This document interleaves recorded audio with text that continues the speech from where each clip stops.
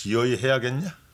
책 좋고 배우 캐스팅 다 됐고 제작비 투자 받는 것까지 확실한데 안 할 이유가 없지. 좋다. 네 마음대로 해라.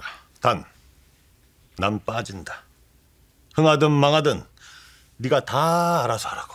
에이 발가락 한쪽이라서 단거나야 후회 안 할 텐데.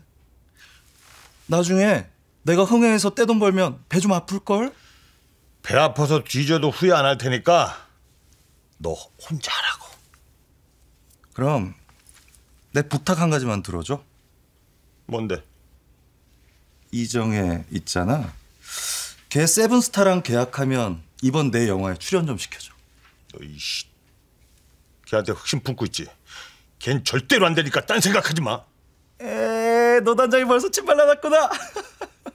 야 이씨 내가 너 같은 줄 알아? 이정혠 절대로 건드리면 안 돼. 걔 건드렸다가 네 인생 종치는 거야. 알았어? 걔 혹시 뭐 있는 거 아니야?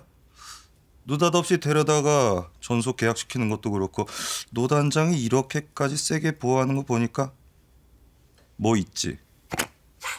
자식 눈치는 빨라가지고.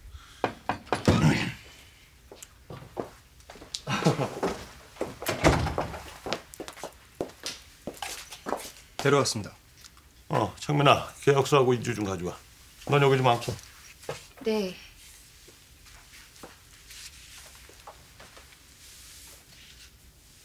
거기 제일 뒷장에다가 지장 찍어라.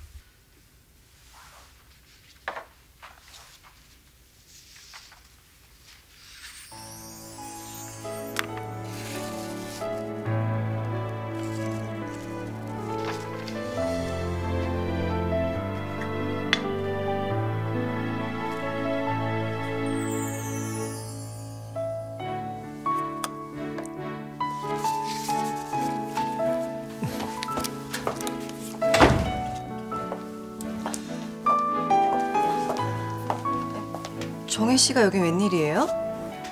어, 이 친구 오늘부로 우리 세븐스타 전속 가수다. 너도 좀 잘좀 봐줘.